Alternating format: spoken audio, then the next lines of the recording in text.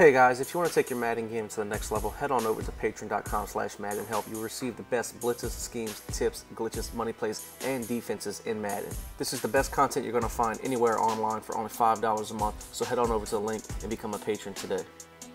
What's up guys, we're here with the 4-6 Bear out of the Cowboys playbook. I think it's only found in the Cowboys playbook. It's one of the best run defenses in the game. And this is a universal blitz, so it works out of any play.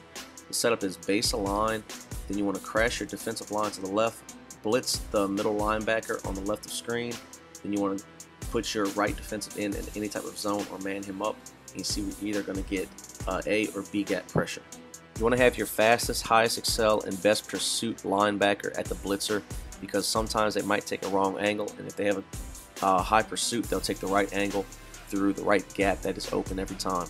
If you're worried about the flats, what you can do is hit triangle and down on the right stick, and what that's going to do is take all the curl flats or seam flats, and it's going to take them and play into hard flats. So then, as soon as this blitz comes in, if you take away the first read, they're either going to have to throw it to your user, or they're going to take a sack. If they're blocking a running back, what you can do is take that left outside linebacker and put him in a bluff blitz, and you see the running back's to take the edge, and we're able to get the uh, A gap to still come in from the blitzing linebacker.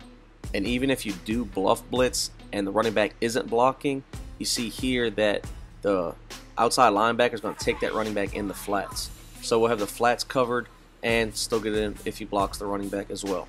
And if you want to make this a three-man blitz, do the same exact thing, except you want to put the right defensive tackle in a spy or a hook or anything. It's not as consistent, but it will still come in uh, every once in a while. It's just not as consistent as sending the normal base blitz.